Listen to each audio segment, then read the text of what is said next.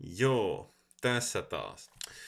Muistatteko, kun keskusta sanoo, että polttoaineverotusta ei nosteta? Nyt ne on keksinyt hienon kiertotien tälle asialle, ainakin hallituksessa. Tässä on nyt hieman juttua siitä, että äh, olisi tällainen suunnitelma polttoaineen jakeluoikeuksien myymiseksi, eli päästökaupan ulottamisesta tähän polttoaineen jakelujärjestelmään. Eli tähän järjestelmään niin kuin pakottaisi, niin kuin, no, no, polttoaineen jakelijat, huoltoasemat ja muut vastaavat niin kuin ostamaan näitä päästökaupan oikeuksia. Ja arvioidaan, että tämä voisi jopa 40 sentin korotuksiin johtaa. Eli tämä on nyt aika hauska tilanne. Eli tämä on minusta aika hienosti politikolta te- tehty tämä koko siirto tältä osin. Mun täytyy myöntää, että ei niitä temput lopu tässä vaiheessa. Ja tämähän luultavasti ehkä tulee sitten vaalien jälkeen, kun keskusta on ottanut päähänsä, mutta tämä, tämä kyllä itse asiassa kertoo kai tilanteesta minusta aika paljon, mitä siellä on nyt tekeillä.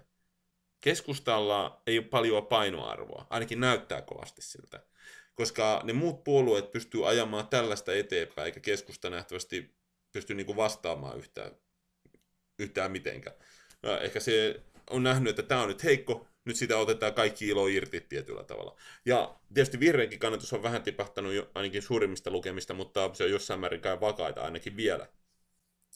Mutta tämä on osoitus siitä, mikä on keskustan asema. Se on joutunut tietyllä tavalla äänestysautomaatiksi tässä vaiheessa. Ainakin mielikuva, mikä tulee, on hyvin vahva sellainen. Varsinkin, jos tämä nyt juttu oikeasti pitää, että polttoaineverotusta nyt nostetaan se 40 senttiä sinänsä ja sehän aiheuttaa sitten melkoisen sotku sinänsä, että keski- ja pienituloiset joutuu vähän ahtaalle tässä vaiheessa, kun no, niiden on pakko käyttää autoa. Suomi on suurten etäisyyksien maa. Tietysti että voihan tämä pakottaa ihmisiä astuskeskuksiin. Mutta tässä on sitten noille rekka- ja jakeluyrityksille pieni ongelma myös tältä osin, että miten ne nyt toimii tästä eteenpäin. Koska pyöriä on kulettava, että Suomeen saadaan tavaraa ja muu, niin päin pois.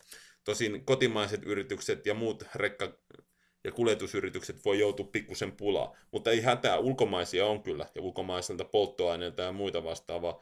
Niitä luultavasti sitten palkataan ja ne hoitaa sen. Kyllä ne yritykset katsoo, että niin, to, mä saan tolla ja tolla hinnalla ton ö, tuotteen tänne ja tänne.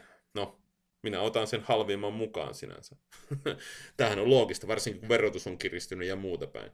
Ja sitten ne rahat lähtee, osa niistä lähtee Suomelle pihalle, että ei tässä niin kotimaista tuotantoa tai työtä tueta niin hirmuisesti. Tai ainakin esitetään, että tueta. Tai sanotaan, että kyllä me maksetaan tukea niille tämän ja tämän verran, mutta mitä siitä sitten seuraa.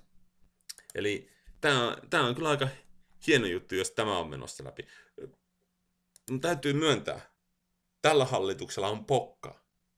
Se, sitä ei voi kukaan kieltää. Se ajaa tällaisia päätöksiä läpi, tai on ajamassa, ainakin näyttää siltä, jotka on aikamoiselle osalle kansasta, niin kuin ne vastustaa aika rajusti sitä. Tai ainakaan se ei ole kovinkaan mieluisa tilanne. Katsotaan nyt, että tuleeko jonkinlainen vastareaktio sinänsä. Voihan se vaalien jälkeen ainakin näkee. Ja katsotaan, että miten se keskusta tässä ottaa, vai ottaako se vaan turpinsa tässä asiassa aika pahastikin. Nyt näyttää siltä, että se oikeasti pysty tekemään mitään, tai halua tehdä jotain. Voisi tietysti sanoa jotain, mutta mitään ei tapahtu. Ehkä tässäkin kierretään se, niin kuin sanoin, se, että polttoaineverotus ei nouse. Me pistetään vaan niille jakelijoille niin kuin lisämaksu. Katsotaan, miten käy. Ainakin on mielenkiintoista. Tässä kaikki. Jatko.